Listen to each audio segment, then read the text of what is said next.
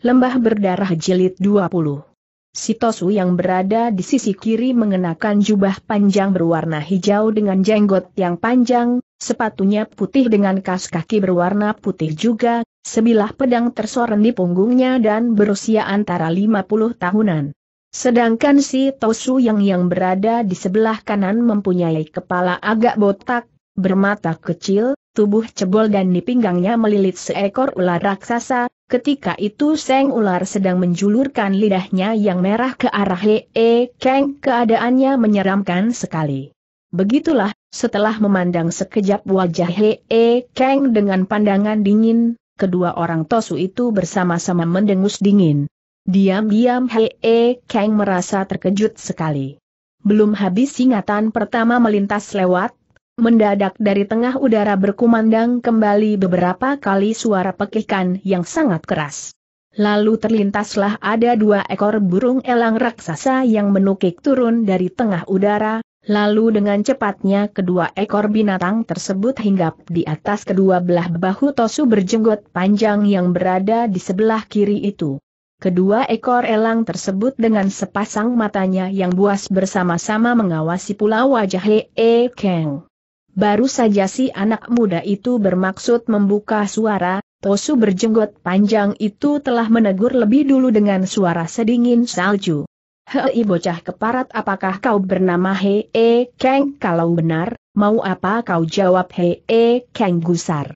Tosu tua berjenggot panjang itu segera tertawa terbahak. Bahak.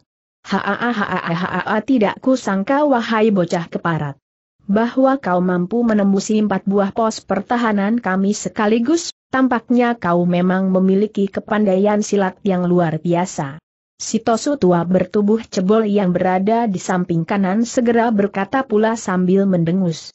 HMM, apabila kau sanggup menembusi pertahanan dari lima sesepuh Bukit Gobi kuanggap kau memang betul-betul jagoan.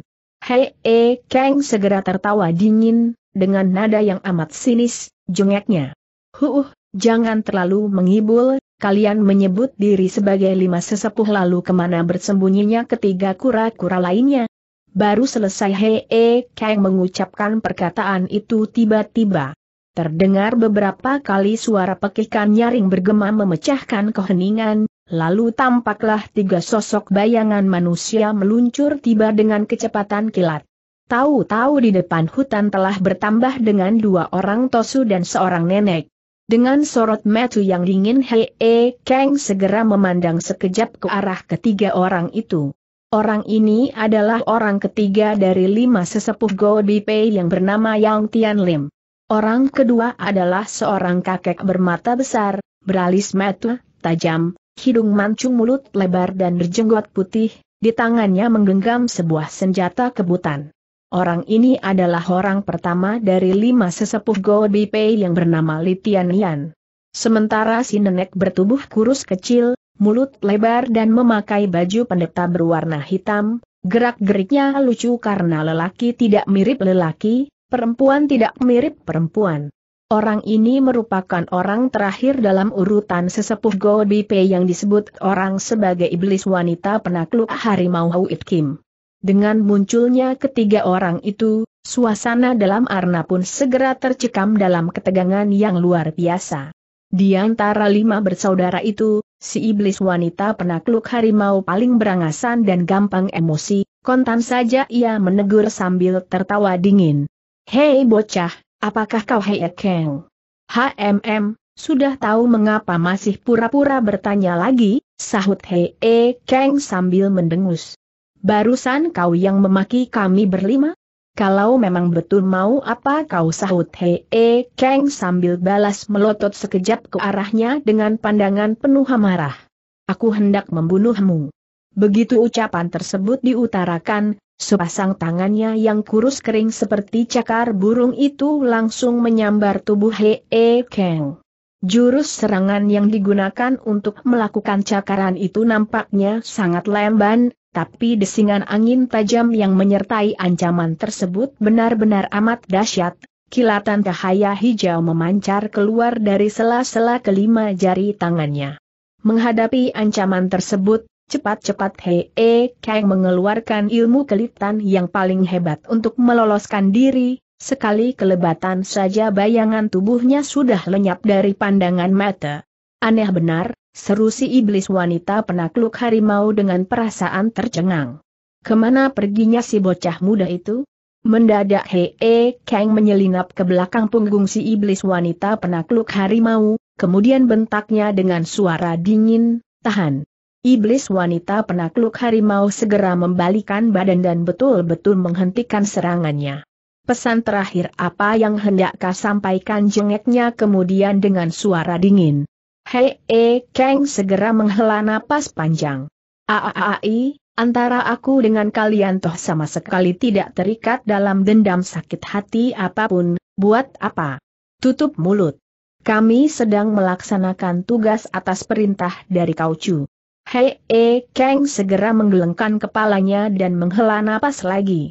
Aa, aku toh bukan orang jahat, mengapa kalian mendesakku terus-menerus serta berusaha untuk membunuhku? Si kakek berjenggot putih yang bernama Litian Nian segera menyela dengan kening berkerut.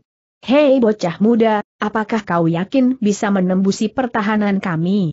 Mengingat tidak gampang bagi kalian untuk melatih diri hingga mencapai tingkatan seperti ini, untuk terakhir kalinya ku beri kesempatan kepada kalian untuk mempertimbangkan diri dengan sebaik-baiknya. Tiba-tiba terdengar lagi seseorang menyambung, perkataan itu memang tepat, bila kalian bersikap keras. Akan menyusahkan dirinya tak berakal ada keuntungan yang bisa kalian raih. Beberapa patah perkataan itu diucapkan dengan suara sedingin es, membuat siapa pun yang mendengar segera merasakan hatinya bergidik dan tubuhnya menggigil. Hei E Kang maupun kelima sesepuh dari Gobi Pei serentak berpaling dan menengok ke arah mana berasalnya suara tersebut. Lebih kurang satu kaki dari Arna, tepatnya di bawah sebatang pohon besar, entah semenjak kapan telah bertambah dengan seorang kakek bertopi lebar yang memegang huncue. Iblis wanita penakluk harimau, orang kelima dari lima sesepuh Godipe itu segera mendengus dingin, lalu umpatnya. Hei tua bangka celaka, dari mana kau datang? Tampaknya sudah bosan hidup di dunia ini. Tanda petik.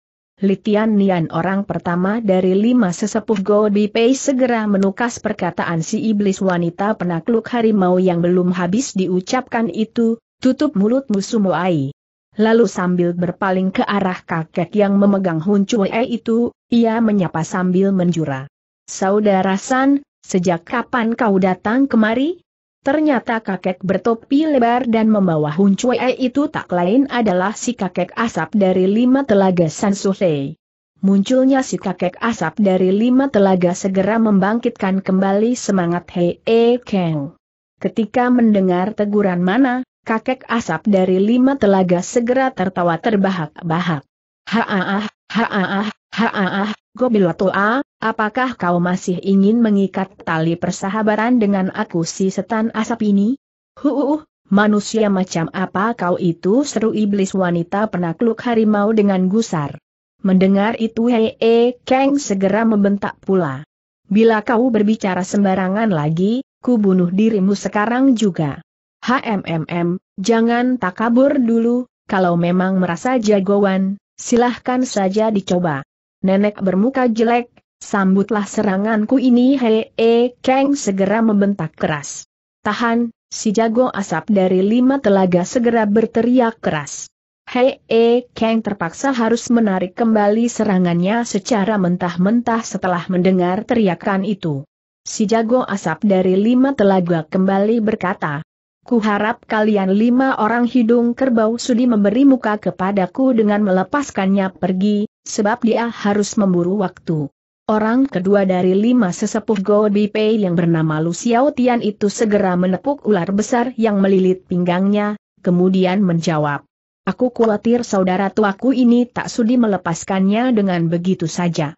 Hei E Kang segera melangkah maju tiga tindak ke depan Lu Xiao Tian, Lalu bentaknya penuh amarah. Kau tak ada salahnya untuk melepaskan saudara tuamu itu untuk dicoba.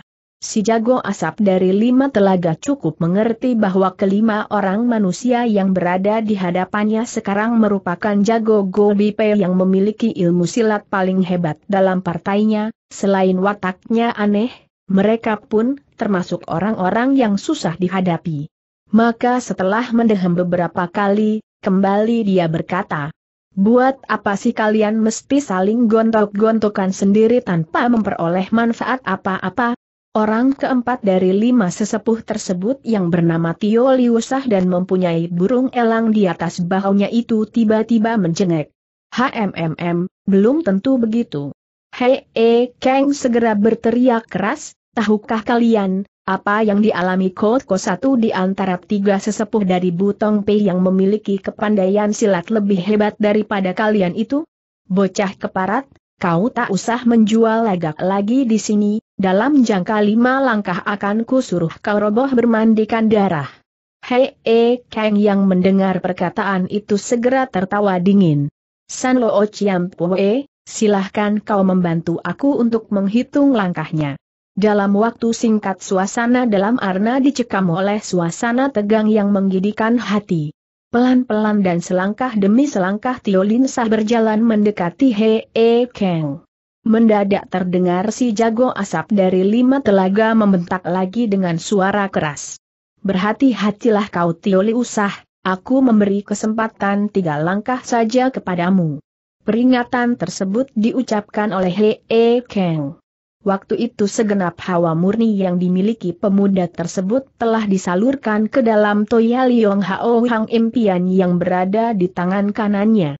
Asal Tioli usah melancarkan serangannya, maka dia akan melancarkan serangan balasan dengan sepenuh tenaga.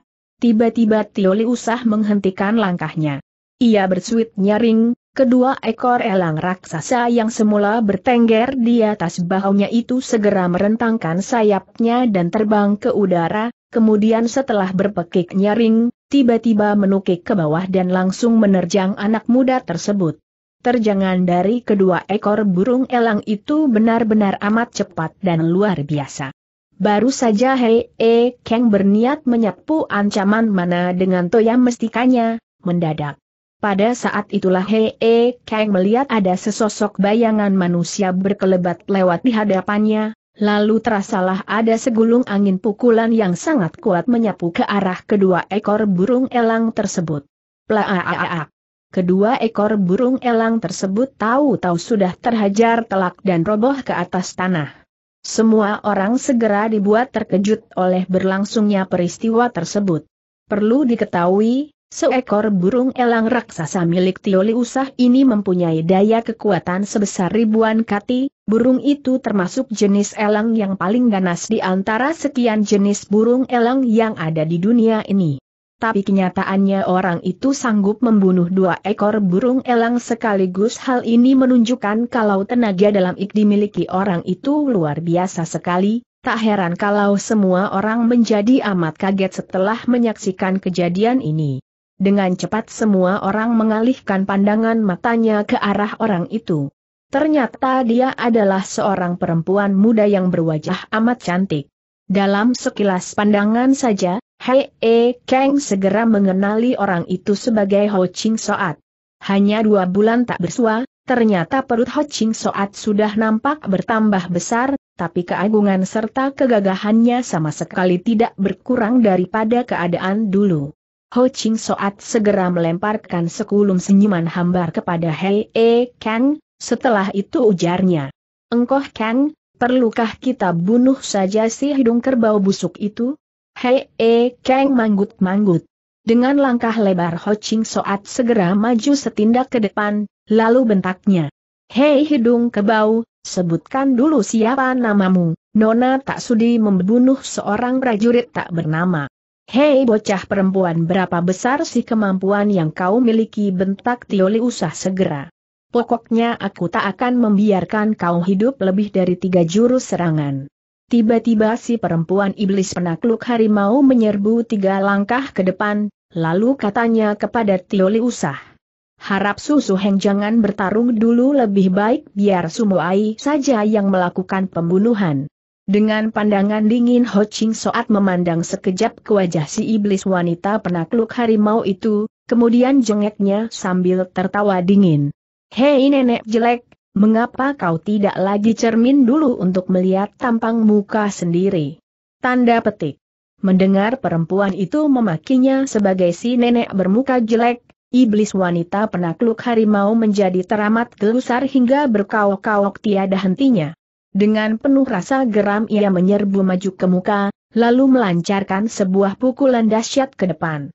Ho Ching Soat membentak nyaring, dia memutar sepasang tangannya satu lingkaran bersama-sama didorong ke depan. Dua gulung angin pukulan yang maha dahsyat segera menyerang dua belas buah jalan penting di tubuh iblis wanita penakluk harimau itu. Blaam. Di tengah benturan keras yang memekikan telinga, Terdengar suara dengusan tertahan bergema memecahkan keheningan, lalu tampak sesosok bayangan manusia meluncur ke arah depan hutan.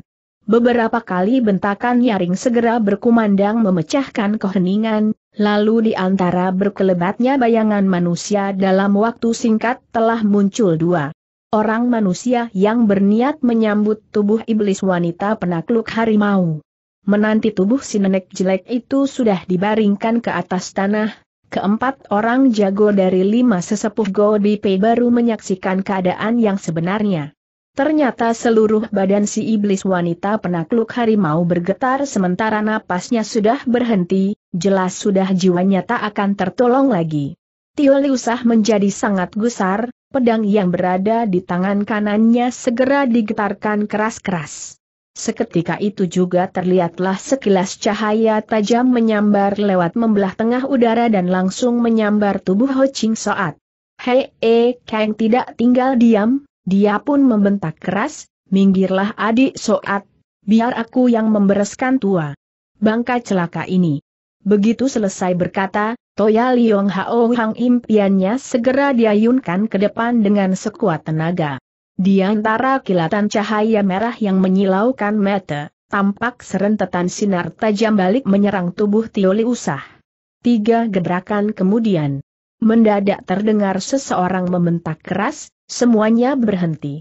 Tanda petik. Baik Ahe Kang maupun Tioli Usah menjadi tertegun dan serentak menghentikan serangan masing-masing sambil berpaling ke samping, di mana berasalnya suara itu. Tahu-tahu di hadapan semua jagoan telah bertambah dengan seorang manusia berbaju hijau. Selembar kain kerudung berwarna hijau menutupi paras muka manusia itu sehingga tidak nampak bagaimanakah bentuk wajah orang itu. Tapi kalau dilihat dari bentuk tubuhnya yang ramping, dapat diduga bahwa dia adalah seorang perempuan muda yang berwajah amat cantik. Setelah memandang sekejap ke wajah orang itu, Hei E Kang menjadi sangat terperanjat. Bukankah perempuan berbaju hijau ini adalah orang yang telah memberi obat pil kura-kura berusia selaksa tahun kepadanya bulan berselang serta membantunya lolos dari barisan Lohantin belum lama berselang? Setelah manusia berbaju hijau itu menyelinap masuk ke dalam arna, semua pandangan mata kawanan jago yang berada di situ pun bersama-sama ditujukan kepadanya. Mendadak. Dengan suara yang keras seperti geledek perempuan berkerudung itu membentak lagi. Hei, mengapa kalian memandangku semua, apakah tubuhku aneh atau punya ekor sehingga mengherankan kalian semua? Sekali lagi semua orang dibuat tertegun. Sebelum kawanan jago tersebut sempat mengucapkan sesuatu, manusia berkerudung hijau itu telah membentak lagi. Lebih baik kalian menggelinding pergi semua dari sini, Siapa yang berani berkelahi lagi, jangan salahkan kalau aku bertindak keji dengan membunuhnya. Diam-diam keempat sesepuh Godipe itu merasa amat terkejut, tanpa terasa peluh dingin jatuh bercucuran membasahi seluruh tubuhnya. Sebenarnya siapakah perempuan berkerudung ini? Dia seorang teman ataukah seorang musuh? Tampaknya si jago asap dari lima telaga dapat menyelami niat sesungguhnya dari orang itu, Sambil tertawa terbahak-bahak ia segera berseru keras. Haa haa e Kang, kau si bocah bodoh, mengapa tidak segera pergi meninggalkan tempat ini? Baru saja Hei E Kang akan melejit ke udara untuk kabur meninggalkan tempat itu, tiba-tiba. Dengan suatu gerakan cepat Tioli Usah telah menghadang jalan pergi si anak muda itu, bahkan dilihat dari sikapnya, ia telah bersiap sedia untuk melancarkan serangan. Hei, eh, Kang segera mendengus dingin. HMM, mau apa kau? Aku hendak membunuhmu, kata Tioli Usah dengan suara menggeledek. Begitu ucapan terakhir diutarakan, pedangnya langsung melancarkan sebuah tusukan. Dengan suatu gerakan yang lincah dan gesit Hei E Kang menghindar ke samping, kemudian bersiap-siap akan melancarkan serangan balasan. Tapi sebelum ia sempat melakukan sesuatu tindakan, tiba-tiba, suatu bentakan yang amat keras telah bergema memecahkan keheningan. Hei, apakah kau sudah bosan hidup? Bersamaan dengan selesainya perkataan itu secepat kilat sepasang telapak tangannya didorong ke muka. Blaam. Di tengah suara benturan yang amat keras, tampaklah pasir dan batu berterbangan di angkasa, suasana waktu itu mengerikan sekali. Di tengah deruan angin berpusing yang menerbangkan semua benda yang ditemui, tampak bayangan manusia bergerak kian kemari. Ternyata Tioli Usah dan Hei E Kang sama-sama dipaksa mundur sejauh berapa langkah lebar ke belakang. Sambil tertawa dingin manusia berbaju hijau itu berseru lagi, kalau menganggap dirimu punya kepandaian, mengapa tidak mencoba lagi berapa gebrakan? Tio Liusah segera tertawa seram. HMMM, aku tak percaya kalau kepandaian yang kau miliki benar-benar hebat sekali.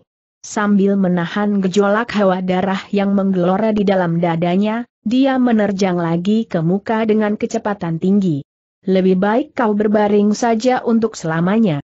Bentak manusia berbaju hijau itu dingin.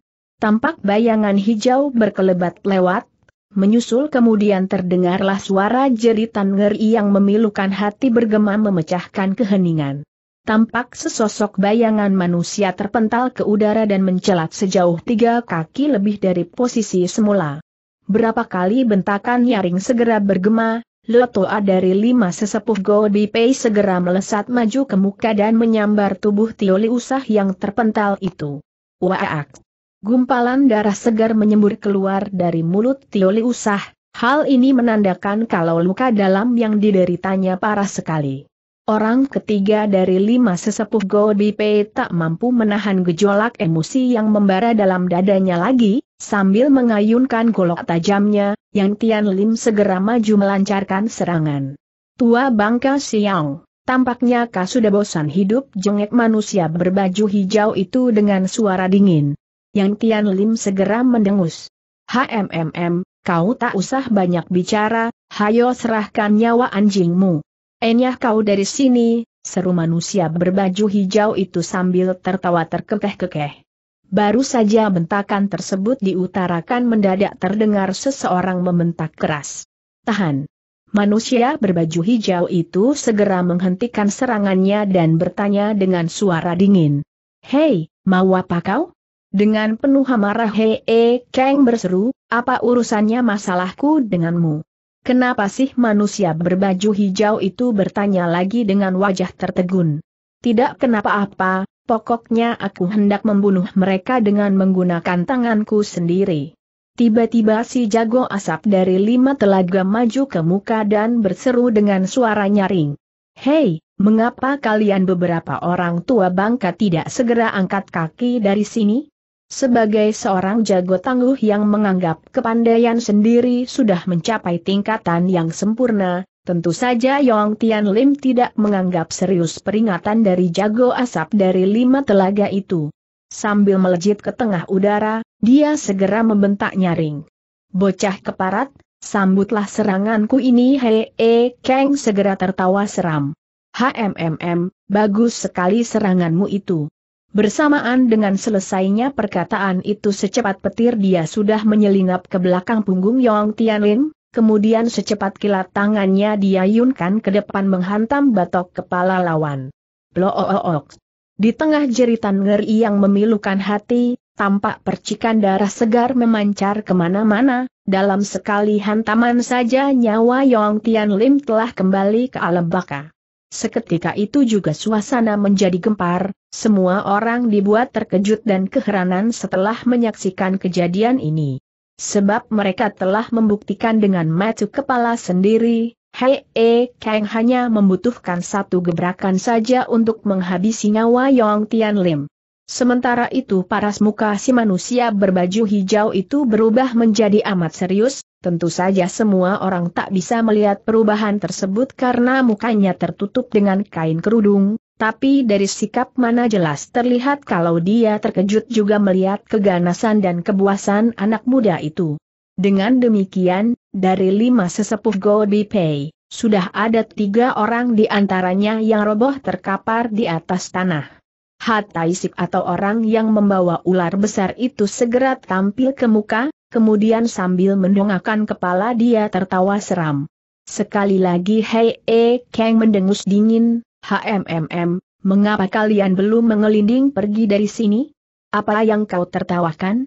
Hataisik menarik kembali gelak tertawanya kemudian memandang sekejap ke sekeliling tempat itu dengan sepasang mata melotot besar, katanya kemudian dengan suara keras. Dalam puluhan tahun terakhir ini, kami lima sepuluh dari Godipe selalu hidup bersama, ada kesenangan dinikmati bersama, ada kesulitan ditanggulangi berbareng, yang tak beruntung hari ini kami jatuh pecundang di tangan kalian semua. Nah hutang darah harus dibayar dengan darah, aku akan beradu jiwa dengan kalian. Mendengar perkataan tersebut, Si jago asap dari lima telaga segera menghela napas panjang. Aai, lebih baik sayanglah tulang belulangmu yang sudah rapuh itu, mengapa tidak kau manfaatkan sisa umur yang pendek untuk melihat dunia? Sebelum perkataan tersebut selesai diucapkan, mendadak terdengar Hataisik bersuit nyering. Begitu mendengar suara suitan tadi, Si ular raksasa yang berada di tubuh Hataisik itu segera meluncur turun ke bawah dengan suatu gerakan cepat. Kemudian tanpa menimbulkan sedikit suara pun, ular tadi menyambar tubuh manusia berbaju hijau itu. Ah ah ah, ular jerit manusia berbaju hijau itu tiba-tiba, suaranya melengking dan tajam sekali, jelas ia merasa sangat ketakutan. Pada saat itulah, mendadak tampak sesosok bayangan manusia berkelebat lewat. Diiringi suara bentakan nyaring orang itu telah menyelinap ke hadapan tubuh manusia berbaju hijau itu, sementara toyanya langsung menyapu ke depan. Plaaaaak. Diiringi suara benturan keras, ular raksasa itu tersapu telak hingga mencelat sejauh dua kaki lebih dari posisi semula. Dengan kening mengkerut manusia berbaju hijau itu segera menegur. Mengapa kau harus turun tangan untuk menolongku? Hei E Kang menghela napas panjang, sahutnya kemudian. Tidak karena apa-apa, aku hanya tahu manusia sejenis kau paling takut dengan ular. Tiba-tiba mencorong keluar sinar lembut dari balik mata manusia berbaju hijau itu, di balik sorot mata yang lembut. Terkandung pula perasaan berterima kasih serta rasa cinta yang sangat mendalam. Ketika sepasang mata Hei E Kang saling bertemu dengan sorot mata manusia berbaju hijau itu, dia segera tertegun dan cepat-cepat menarik kembali pandangan matanya. Dalam pada itu, Hataisik dengan sepasang mata ayamnya sedang mengawasi Hei E Kang dengan pandangan penuh kebencian, lama sekali dia memandang sebelum mengalihkan kembali sorot matanya ke atas bangkai ular raksasanya yang tergeletak di atas tanah. Sedangkan Litian Nian mengerutkan dahinya sambil berpikir keras, dia sedang mempertimbangkan situasi yang sedang dihadapinya sekarang, oleh karena itu tak berani bertindak secara gegabah. Dengan pandangan dingin Hei E Kang memandang sekejap ke arah kedua orang itu lalu mendongakkan kepalanya dan tertawa seram, suaranya keras dan amat menggidikan hati. Menyusul kemudian, dengan suara yang sinis dan menghina ia berkata, Aku masih tetap dengan perkataanku tadi, mengingat tidak gampang untuk melatih silat hingga mencapai tingkatan seperti kalian, cepatlah menggelinding pergi dari sini. Hataisik meraung keras seperti harimau kelaparan, jeritnya setelah kalap. Kau anggap kami benar-benar takut kepadamu. Ia segera mendesak maju ke depan lalu melepaskan sebuah serangan dahsyat dengan jurus Bukit Taisan menindih kepala. Dengan cekatan He E Kang menyelinap ke samping, kemudian menerobos ke belakang tubuh musuhnya. Melihat itu si jago asap dari lima telaga segera menghela nafas panjang. Aaai, habis sudah riwayat si cebol hak kali ini. Betul juga, baru saja perkataan dari si jago asap dari lima telaga Sansule selesai diucapkan, terdengarlah suara dengusan tertahan bergema memecahkan keheningan. Tampaklah tubuh Hataisik yang bulat pendek menggelinding ke muka seperti sebuah bola karet, kemudian dari mulutnya menyembur keluar darah segar. Litian Nian yang berada di sisi Arna menghela napas sedih, dalam keadaan demikian tentu saja dia tak bisa berpeluk tangan belaka. Maka sambil meloloskan pedang dari punggungnya, dia maju ke muka sambil berseru. Aku akan beradu jiwa denganmu. Diiringi desingan angin tajam yang menggidikan hati, pedangnya melepaskan sebuah tusukan kilat ke depan. Hei, eh, Kang memang amat cekatan, dia segera mengegos ke samping dan tahu-tahu sudah lolos dari ancaman lawan. Baru saja pemuda itu bersiap-siap melancarkan serangan balasannya, mendadak. Tampak bayangan hijau berkelebat lewat kemudian terlihatlah segulung desingan angin tajam menyambar lewat dan menyelimuti seluruh kepala Litian Nian.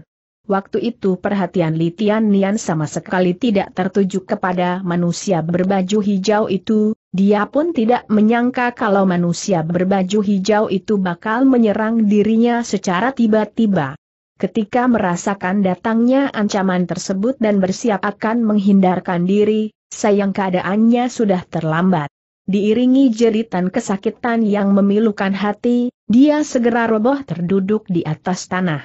Kepalanya tampak bergeletar keras, tapi hanya sebentar, tubuhnya segera roboh terjungkal ke atas tanah dan tak pernah bangun kembali. Dengan perasaan terkejut si jago asap dari lima telaga segera berpikir. Benar-benar amat keji orang ini menghabisi nyawa orang lain. Mendadak. Dengan suara keras Hei Kang membentak, Hei, ini kan urusanku, siapa yang suruh kau mencampurinya? Manusia berbaju hijau itu segera tertawa terbahak-bahak. Kenapa? Apakah kau ingin berkelahi denganku kau anggap aku tak berani bertarung denganmu? Tiba-tiba si anak muda itu melejit ke tengah udara sambil menyambar ke muka, dengan suatu gerakan cepat dia menyambar kain kerudung yang menutupi wajah orang. Serangan ini dilakukan olehnya dengan suatu gerakan cepat dan sama sekali di luar dugaan orang, tak heran kalau manusia berbaju hijau itu menjadi melengak. Hei, eh, Kang memang bertujuan untuk menyingkap kain kerudung orang sehingga wajah aslinya bisa diketahui, itulah sebabnya serangan tersebut dilancarkan dengan cepat dan amat tiba-tiba. Tatkala Hei E Kang sudah membuka kain kerudung yang menutupi wajah orang itu, mendadak. Hei E Kang berdiri tertegun dan tak mampu mengucapkan sepatah kata pun. Begitu juga dengan segenap jago yang berada dalam arna, hampir semuanya dibikin melongo. Ternyata perempuan berbaju hijau itu mempunyai paras muka yang begitu jelek sehingga sukar dilukiskan dengan kata-kata, belum pernah dijumpai perempuan berparas sejelek itu dalam dunia persilatan saat ini. Dia bermata tunggal dan bermulut sumbing, hidungnya berlubang sangat besar dan rambutnya seperti rambut jagung. Kalau pada pipi kirinya terdapat sebuah codet besar berwarna merah, giginya ompong dan mencuat keluar dari bibirnya yang tebal. Dengan sorot mata yang tajam yang menggidikan hati, perempuan bermuka jelek itu maju terus ke depan, selangkah demi selangkah mendekat Hei Kang. Berdiri semua bulu kuduk Hei E Kang menghadapi ancaman tersebut, tanpa disadari peluh dingin telah membasahi seluruh tubuhnya.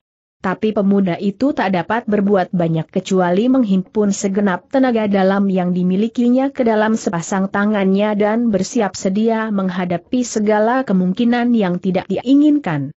Diam-diam si jago asap dari lima telaga pun merasa amat terkejut, peluh dingin telah membasahi pula tubuhnya, bukan karena ngeri, tapi seram dan bergidi karena mengkhawatirkan keselamatan si anak muda tersebut. Ho Ching Soat pun merasa hatinya amat tegang, jantungnya berdebar keras sekali. Selangkah demi selangkah, makin lama perempuan bermuka jelek itu semakin mendekati He E Kang. Akhirnya Ho Ching Soat tak dapat menahan diri lagi, mendadak dia membentak keras. Perempuan jelek, Mau apa kau? Aku hendak membunuhnya, jawab perempuan berbaju hijau itu dengan suara dingin. Kau berani? Diiringi suara bentakan, Ho Ching Soat melejit ke depan sambil melancarkan sebuah pukulan dahsyat ke tubuh lawan. Manusia berbaju hijau itu segera mengayunkan pula tangan kanannya ke tengah udara. Menggelindinglah dari sini, serunya sambil mendengus dingin. Segulung desingan angin serangan yang kuat langsung menyambar tubuh Ho Ching Soat dan memaksanya mundur kembali ke posisi semula. Berubah hebat paras muka Ho Ching Soat, mendadak. Sebelum dia melakukan tindakan berikut perempuan berbaju hijau itu telah membalikan tubuhnya seraya membentak. Apakah kau pun mencintainya benar? Kalau begitu cintailah dia dalam penitisan mendatang. Sekali lagi tangan kanannya diayunkan ke depan, segulung angin pukulan Ik sangat kuat segera menyapu ke muka. Jangan dipukul, teriak Hee Kang secara tiba-tiba dengan suara keras. Manusia berbaju hijau itu segera berdiri tertegun dan cepat-cepat menarik kembali angin pukulannya, setelah itu tanyanya dengan keheranan. Kenapa tak boleh? Sebab dia adalah istriku yang pertama. Apakah sampai sekarang kau masih mencintainya? Tanpa terasa Hei E Kang manggut-manggut. Perempuan berbaju hijau itu segera tertawa getir. Baiklah, aku bersedia membebaskannya untuk satu kali ini saja. Siapakah kau tanya Hei E Kang kemudian setelah memandang sekejap ke arah wajahnya. Seorang perempuan jelek. Tapi perempuan jelek toh bukan namamu yang sebenarnya? Kontan saja perempuan berbaju hijau itu melotot besar. Aku tak punya nama, dalam benakku hanya terdapat dua hal saja yaitu buruk dan baik. Berbicara sampai di situ, dia mendongakkan kepalanya dan memandang awan di angkasa, kemudian setelah menghela napas panjang katanya lagi. Hei eh Kang, takutkah kau setelah menyaksikan paras mukaku yang begini jelek ini? Tidak, aku sama sekali tidak takut, Apakah kau mencintaiku? Aku tidak tahu, jawab pemuda tersebut terbata-bata. Sekali lagi paras muka perempuan berbaju hijau itu berubah sangat hebat, serunya sambil mendengus. HMMM, rupanya kau sudah lupa, empat kali aku telah menolongmu, kau si lelaki yang tak kenal budi. Belum lagi perkataan tersebut habis diucapkan, dia telah menggerakkan tubuhnya meninggalkan tempat tersebut. Bagaikan segulung asap ringan berwarna hijau, dalam sekejap mata bayangan tubuhnya sudah lenyap di balik hutan sana. Sambil mengawasi bayangan tubuh si perempuan jelek berbaju hijau yang lenyap di kejauhan sana, Hei E Kang berdiri termangu-mangu di tempat tanpa mengucapkan apa pun, dia merasa bingung dan tidak habis mengerti. Mendadak si jago asap dari lima telaga mendongakkan kepalanya dan memandang sekejap keadaan cuaca, kemudian katanya sambil tertawa terbahak-bahak.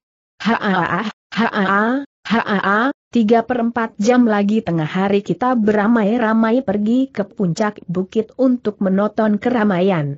Seperti baru sadar akan mendesaknya waktu yang tersedia, Hei E Kang berseru tertahan lalu membalikan badan dan cepat-cepat menggerakkan ilmu meringankan tubuhnya yang sempurna untuk meluncur naik ke atas puncak bukit. Bukit Tai Angsan terdiri dari tanah pegunungan yang luasnya mencapai puluhan li, puncak bukit yang tertinggi terletak di tengah kerumunan bukit kecil lainnya, bentuknya persis seperti rembulan yang dikelilingi bintang. Dipandang dari kejauhan, bukit itu menjulang tinggi ke angkasa dengan batuan cadas yang mencuat di sana-sini, keadaan medannya sangat berbahaya.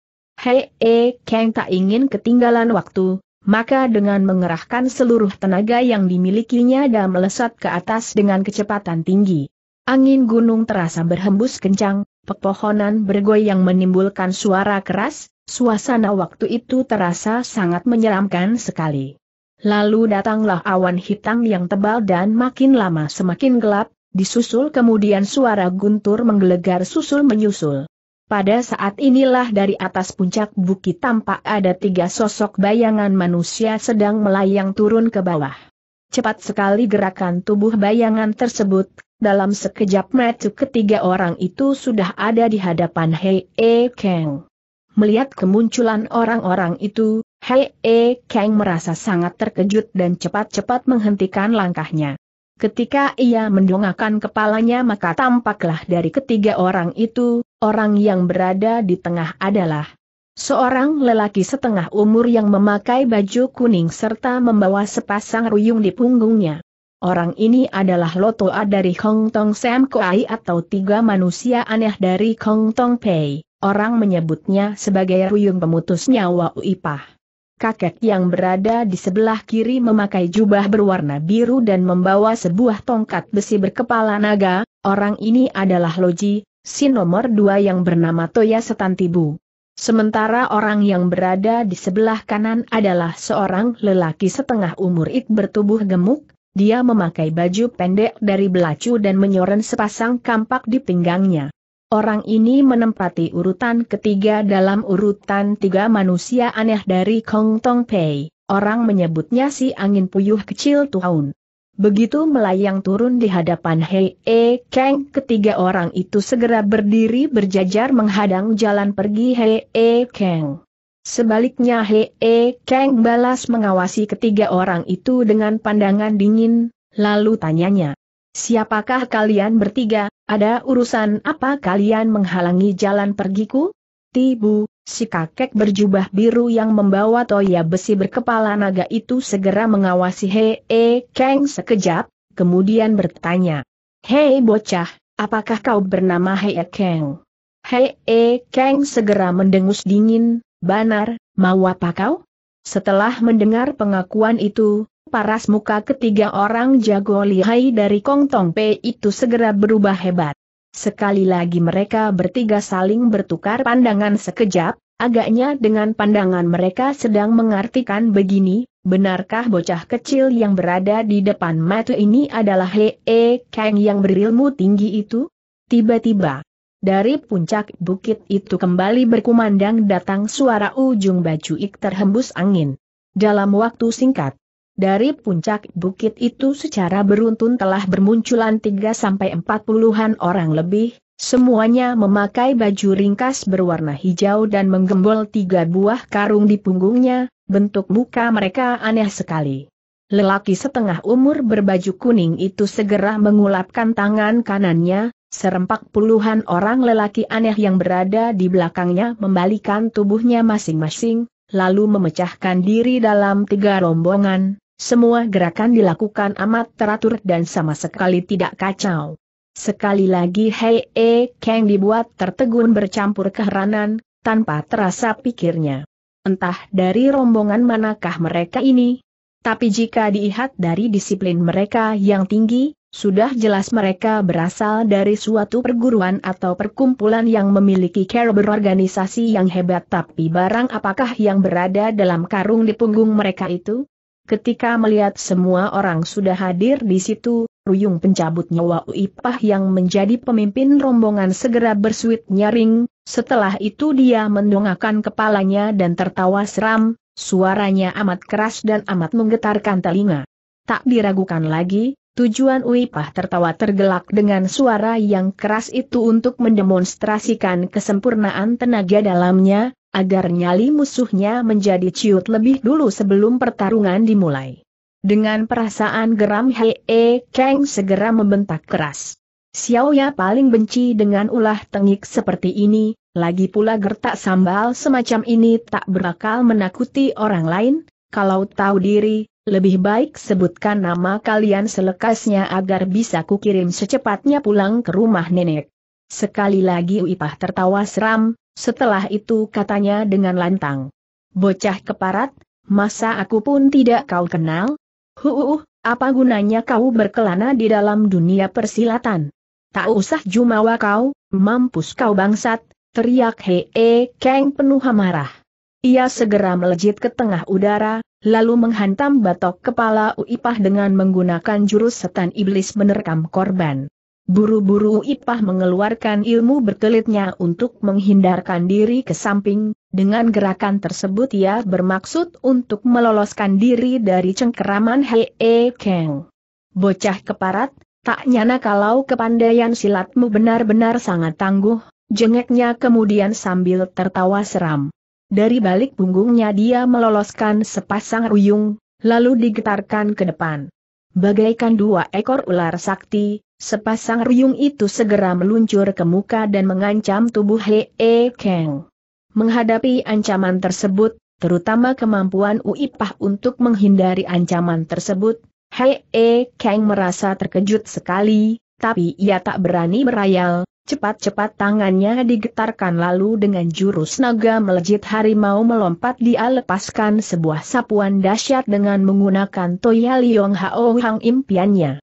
Tak terlukiskan rasa kaget Uipah menghadapi serangan cahaya merah dari He E Kang yang menerjang datang seperti seekor binatang buas itu, sambil membuyarkan ruyungnya cepat-cepat dia menghindarkan diri ke samping. Mau kabur ke mana kau He E Kang segera membentak keras. Seketika itu juga terlihatlah serentetan cahaya merah menyergap ke muka dengan kecepatan luar biasa. Bajingan cilik, pingin mampus nampaknya kau, bentak Ui Pah penuh amarah. Dia segera melejit ke tengah udara, kemudian sepasang ruyungnya diayunkan ke bawah melancarkan sebuah sapuan. Blaaam. Ledakan keras yang memekikan telinga bergema memecahkan dalam keheningan, akibat dari bentrokan tersebut kedua orang itu sama-sama tergetar mundur. Selangkah, pucat pasti selembar wajah Uipah, peluh dingin jatuh bercucuran membasahi tubuhnya, dengan sepasang mata, terbelalak lebar-lebar dia awasi kedua buah ruyungnya yang kutung dan tergeletak di atas tanah itu. Perlu diketahui, Permainan sepasang ruyung dari Uipah sudah puluhan tahun lamanya termasyhur dalam dunia persilatan, korban Ik berhasil lolos dari ujung ruyungnya pun bisa dihitung dengan jari tangan, itulah sebabnya orang-orang menyebut sebagai si ruyung pencabut nyawa. Tapi kenyataan sekarang, dia jatuh pecundang di tangan Hei E Kang yang masih hingusan. Apalagi Hei E Kang hanya membutuhkan dua gebrakan saja untuk mematahkan sepasang ruyung Uipah tersebut, tak heran kalau kejadian mana segera membuatnya tertegun. Pada saat itulah, tiba-tiba, tampak sesosok bayangan manusia berwarna biru berkelebat lewat, lalu tampaklah sebuah toya besi telah dihantamkan ke belakang kepala E E Kang. Dengan perasaan terkejut pemuda itu bersiap-siap untuk berpaling ke belakang, tapi tiba-tiba kembali tampak sesosok bayangan putih berkelebat lewat, kemudian terlihatlah toya besi yang digunakan untuk menyerangnya tadi sudah mencelat ke samping. Menyusul kemudian, plook, plook, plook.